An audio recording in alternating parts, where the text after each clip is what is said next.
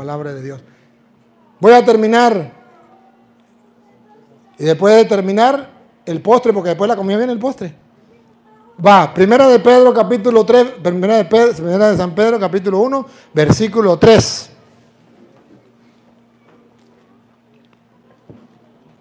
Voy a terminar. Primera de San Pedro capítulo 1, versículo 3 en adelante.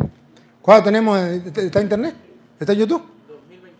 2027. 2027, todos los que están a través de YouTube, gracias por acompañarnos en el día de mi ordenación sacerdotal. Sé que muchos me estarán diciendo felicitaciones, gracias a todos. Y aquellos que no, a los evangélicos que están ahí insultándome, pues que Dios los bendiga, los amo de corazón. Va, primera de Pedro 1, 3 en adelante. Por favor, con esto termino. Bendito sea Dios. Bendito sea Dios. Alabo y bendigo a Dios. Mi corazón rebosa de alegría hacia Dios. Soy un enamorado de Dios. Soy feliz sirviéndole a Dios. Soy feliz siendo sacerdote del Dios Altísimo. No hay algo más maravilloso y fantástico que servirle al Rey de Reyes y Señor de Señores que ser sacerdote del Dios Altísimo. Bendigo a Dios. Pero no solamente lo bendigo por eso, por estar con ustedes. Mi hermano Alexander, diácono, que nos está acompañando. Padre Marco a lo mejor no pudo porque lo invité. No me diga que llegó el Padre Marco. Ay, ¿cómo me van a decir ustedes que llegó el Padre? ¿Ah? Le damos la bienvenida al Padre Marco y a los otros padres que vinieron, este, que nos acompañan. Este, un, un aplauso para ellos que nos acompañan. Gracias. Quería que estuviera, pero a lo mejor llegaron un poquito tarde, pero lo esperamos un poquito, pero vienen de lejos. Pero le agradecemos su presencia. Le agradecemos su presencia. Va, escuche. Bendito sea Dios, Padre de Cristo Jesús, nuestro Señor, por su gran misericordia, al resucitar a Cristo Jesús de entre los muertos. El mejor regalo. El mejor regalo es la misericordia de Dios que al resucitar a Jesús de entre los muertos nos dio vida eterna. Ese es el regalo más grande y por, nosotros, por eso nosotros celebramos el domingo y no el sábado. Porque el regalo más grande se nos dio el domingo, el día de la resurrección. Bendito sea Dios, que en su gran misericordia, Dios nos tiene mucha misericordia con nosotros, eh, nos ha dejado en la resurrección de su Hijo la capacidad de poder nosotros entrar al cielo y resucitar con Él. Nos dio una vida nueva. Nos dio una vida nueva. Gracias a Dios, usted y yo somos ciudadanos del cielo. Gracias a Dios podemos estar con los ángeles y los santos el día en que muramos. Ese es nuestro anhelo, ese es nuestro deseo. Bendito sea Dios, Padre de nuestro Señor Jesucristo, que en su gran misericordia, por la resurrección de su Hijo, nos ha dado una vida nueva. La anhelamos, la deseamos, para allá caminamos. Por eso hacemos lo que hacemos. Por eso vivimos la fe, por eso vivimos en la caridad, por eso esperamos con confianza plena. Ese es nuestro sueño. Lo demás es cuento. ¿Entre, entre qué? Entre 100 años está todos ustedes, lo han tragado los gusanos. Anda. Al profesor Joel antes, porque ya tiene 60 y pico de años. Aunque parece que tuviera como 50, pero, pero también pronto se lo traga los gusanos, no sabemos cuándo. Aquí no se escapa nadie. Y usted no se ría, no sé, porque usted también. Y una esperanza viva. Eh, tenemos una esperanza, una esperanza Viva. Una esperanza Viva. ¿Qué significa una esperanza viva? Que Dios no miente. Que las promesas de Dios están vivitas para nosotros. Esa oferta está activa. Esa oferta es para ti, es para mí. Podemos alcanzarla. Claro que sí. Vamos, vamos todos a la eternidad. Vamos todos al cielo. Vamos con ilusión, con anhelo. Es una esperanza viva, no una esperanza muerta. La esperanza es de aquellos que no tienen esperanza, no. Nosotros tenemos esperanza viva, seguro de que Dios no miente, seguro. Por eso, ahorita, por ejemplo, mi madre está en el cielo, seguro, Dios no miente. Vaya, vamos, sí. Reinaremos eternamente, sí, lo ha prometido. Listo, una esperanza viva. Reservada para ustedes la herencia celestial. ¿Para quién está reservada otra vez? Reservada para ustedes. ¿Se dan cuenta? Otra vez. reservada para ustedes, ¿Se dan cuenta qué más quiere? ¿Pollo licuado con pitillo? No se puede. ¿Otra vez? reservaba para ustedes la herencia celestial. Dios nos tiene reservado para nosotros. Entonces yo como sacerdote del Dios Altísimo, lo único que hago es decirle, esto está, esto está la oferta, aquí está, aprovechémosla, reservada para nosotros. La herencia celestial. La herencia. ¿Saben qué es la herencia? Lo que su papá le deja a usted. Lo que su mamá le deja a usted. Y como Dios es nuestro Padre, nos da como herencia el cielo. ¿Y por qué dice herencia? Porque seguro, nadie nos lo puede quitar. Somos sus hijos, ¿quién nos lo va a quitar? ¿Quién?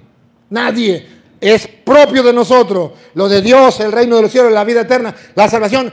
Dios nos la ha dado como herencia. Nadie nos la puede quitar. Entonces busquémosla, entonces luchémosla, entonces peleémosla, entonces vamos a desgastarnos por eso. No como el ciego que estaba era perdiendo su vida a lo largo del camino por unas lochas. No, no, no, no, no. Vamos, busquemos al Señor. Ese tesoro que no perece, Si lo creyéramos. Si lo creyéramos, ¿qué es lo que nos espera otra vez? ese tesoro, ¿Qué es lo que nos espera? ese tesoro que no perece. Si lo creyéramos, cuando venga el Hijo del Hombre, ¿encontrará fe sobre la tierra? Dice, no lo vamos a leer, pero dice el salmista, Salmo 27.4, dice, una cosa pido al Señor. Una. No dos ni tres. Una. Eso buscaré. Lo busco, lo anhelo. Habitar en la casa del Señor, en el país de la vida y gozar de las dulzuras del Señor por años sin término. Una cosa pido al Señor, pero no solamente lo pido, lo busco, lo anhelo, me desgasto por eso. Eso buscaré. Habitar en la casa del Señor, en el país de la vida. Gozar de las dulzuras del Señor por años sin término. La herencia que Dios nos ha dejado es un tesoro que no perece, que no perece, ni se echa a perder, ni se echa a perder y que no se deshace con el tiempo. y que no se acaba. ¿Qué más quieren? ¿Qué más queremos?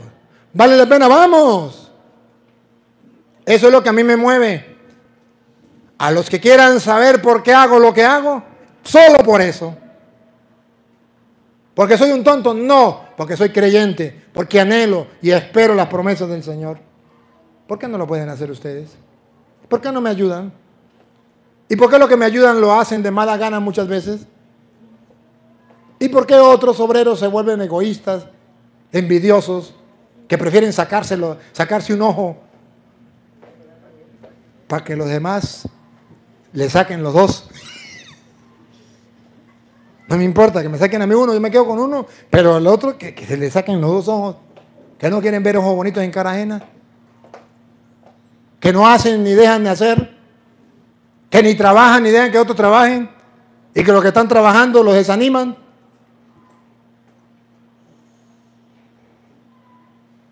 A mí me da tristeza. Yo no quisiera estar en el lugar de esos obreros que en vez de apoyar se sientan ahí a perder el tiempo. Como nadie los está viendo. ¿Y Dios? Ah, bueno, no les importa. No les importa. Nosotros no los estamos explotando. Nosotros no les estamos exigiendo que se maten tanto. Pero sí exigimos que trabajen. Si no lo hacen, no es problema de ustedes. Es que el cura no se va a dar cuenta. El cura no, pero Dios sí. Y yo le trabajo a Dios. Yo soy un simple administrador. Pero la obra es de Dios. Entonces, ¿en qué quedamos? Y los protege el poder de Dios por medio de la fe. Eso sí. Ese tesoro lo protege el eh, Dios y lo vamos a alcanzar por medio de la... Entonces, o activan la fe o no la activan. Ese problema de ustedes. La fe la tenemos. ¿La activamos o no? La activamos. Una señora, ella sabe quién es, allá en México, nos ha querido ayudar para la obra.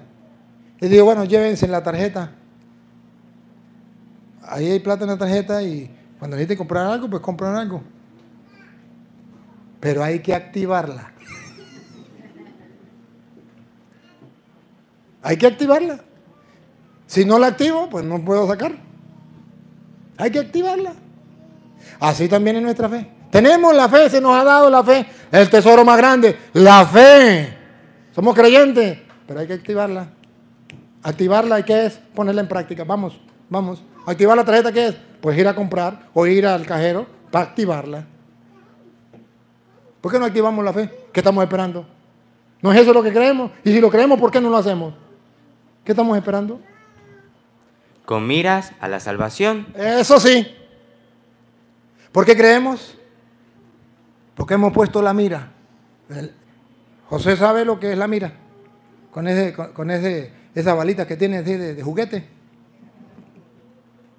Pone la mira no, hombre, no pela. La mira.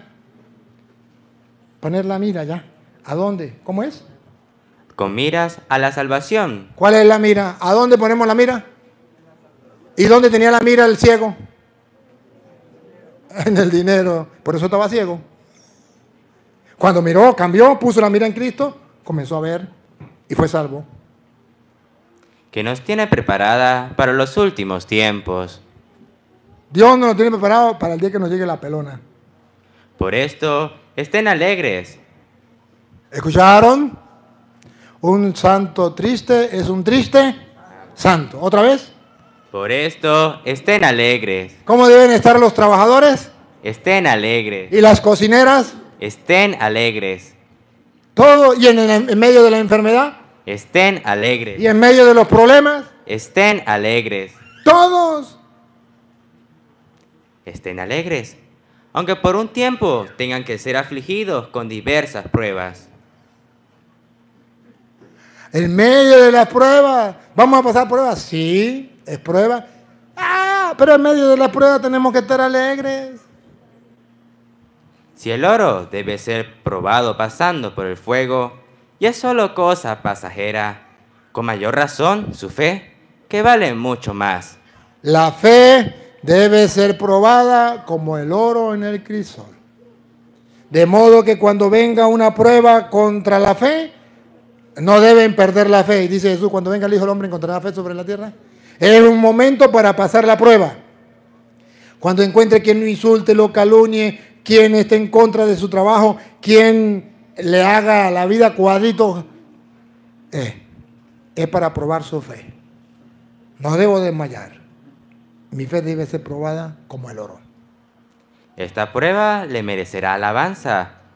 Delante de Dios, si pasa la prueba, Dios le, le aplaudirá. Merecerá alabanza. Honor y gloria. Honor y gloria. Dios le va a dar el premio. El día en que se manifieste Cristo Jesús. Delante de Cristo Jesús. Los hombres pueden decir lo que sea. Gracias a Dios los hombres no son dioses. Gracias a Dios. Hagamos las cosas por Dios. Ustedes lo aman sin haberlo visto. Ustedes aman a Dios sin haberlo visto, pero están en el pobre, en el enfermo, en el necesitado, en el feo, en el, en el mendigo, en el, el que sea. Ahí está. En el pobre, en el rico, en el hombre, en la mujer, en el niño, en el anciano. Ahí está Cristo. Ahora creen en Él sin verlo. Ahora creen en Él sin verlo, porque Él dijo, lo que hiciste con uno de estos, conmigo lo hiciste. Y ahora se siente dueño de una alegría inefable y celestial. Al creer, nos sentimos alegres, una alegría celestial que nadie nos puede robar. Al tener ya ahora eso mismo que pretende la fe. Cuando creemos, ya tenemos lo que creemos. Ya, pero todavía no. La salvación de sus almas. ¿Qué es lo que pretende la fe? La salvación de sus almas. ¿Hacia dónde tenemos que caminar? La salvación de sus almas. ¿Qué es lo que tenemos que buscar? La salvación de sus almas. Estamos ciegos. Jesús nos trae la salvación y la vista. Al ciego le dijo que vea, tu fe te ha salvado. Jesús nos trae la salvación de las almas. Pero hagamos el encuentro con Jesús. Busquemos a Jesús, que no sea tarde. Querida familia, No me canso de repetirle. Vamos a retomar el primer amor de lo que decía la primera lectura. Vamos a retomar la fe que nos dieron desde niños, que cuando adultos la hemos perdido, que hemos vivido como si Dios no existiera, pensando que porque tuvimos a lo mejor un papá o una mamá que tenían fe, con eso nos basta a nosotros, pensando que porque estamos en la iglesia católica estamos salvos. No, Señor, tenemos que trabajar, tenemos que hacer obras, tenemos que luchar, tenemos que vivir nuestra fe. Cuando venga el Hijo del Hombre, ¿encontrará fe sobre la tierra? Yo quiero que si se acaba la fe en el mundo, en Puerto Nuevo quede fe. Y si se acaba la fe en Puerto Nuevo, en mi familia quede fe. Ese es mi deseo. Ese es mi anhelo y lo expreso a los cuatro vientos. Quiero que tengan fe y que el amor no se enfríe por, porque abunda la maldad. Que seamos distintos. Que seamos diferentes. Que marquemos la pauta. Que seamos una luz. Que seamos una antorcha. Que sigamos un ejemplo a seguir. Así como hay ejemplos en el mundo para otras cosas. Seamos un ejemplo para la fe. Sigamos, hermano. Busquemos la santidad sin la cual nadie verá a Dios. Y ser santo no es ser impecable. Eso es otra cosa. Ser santo es luchar por no pecar y levantarme contra el pecado. El problema no es que usted se caiga en mitad de carretera al pasar la carretera. Eso no es problema. El problema es que se caiga y no se levante y venga una gandola y le pase por encima y lo vuelva a chicha. Ese sí es el problema. Ser santo es luchar por no pecar. ¿Y quién no ha pecado? El que está sin pecado que lance la primera piedra. Pero ser santo es levantarse, tener clara la meta, no perder de vista hacia dónde caminamos. Vámonos todos caminando hacia el reino de los cielos, un día vamos a morir. Aquí les he dejado entonces a ustedes la propuesta de hoy, cuando cumplo 24 años, la propuesta que Jesús me ha hecho, me ha hecho a mí, le ha hecho a ustedes y que yo la hago pública para que todo aquel que la quiera abrazar, la abrace y un día podamos reinar eternamente